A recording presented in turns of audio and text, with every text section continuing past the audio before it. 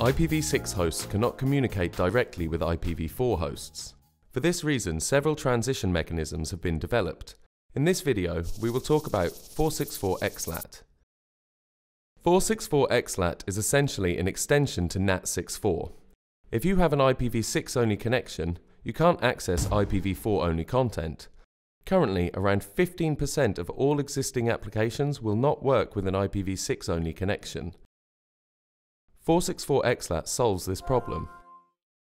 With 464XLAT, the client application uses a stateless IP ICMP translation algorithm, which is a small piece of code that makes the client think it has an IPv4 address.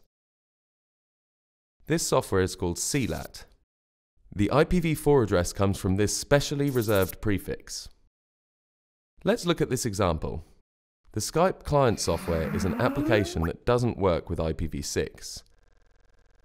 The CLAT is used to translate the Skype client's IPv4 packets into IPv6 packets.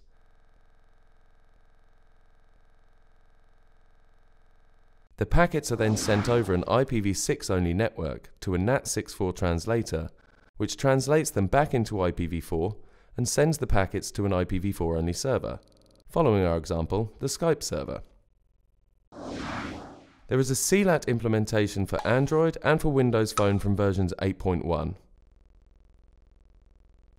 464XLAT helps a lot of mobile providers with their IPv6 implementations because customers with a 464XLAT capable phone can have an IPv6 only connection and still access all IPv4 only applications and content. For more information about 464XLAT, see RFC 6877.